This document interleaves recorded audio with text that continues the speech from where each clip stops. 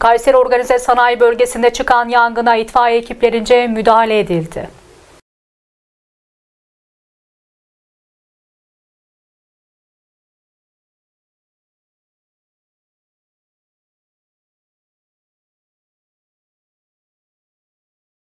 Yangın Kayseri Organize Sanayi Bölgesi'nde çıktı. Henüz bilinmeyen sebeple başlayan yangında dumanların göğe yükseldiğini görenler durumu itfaiye ekiplerine bildirdi.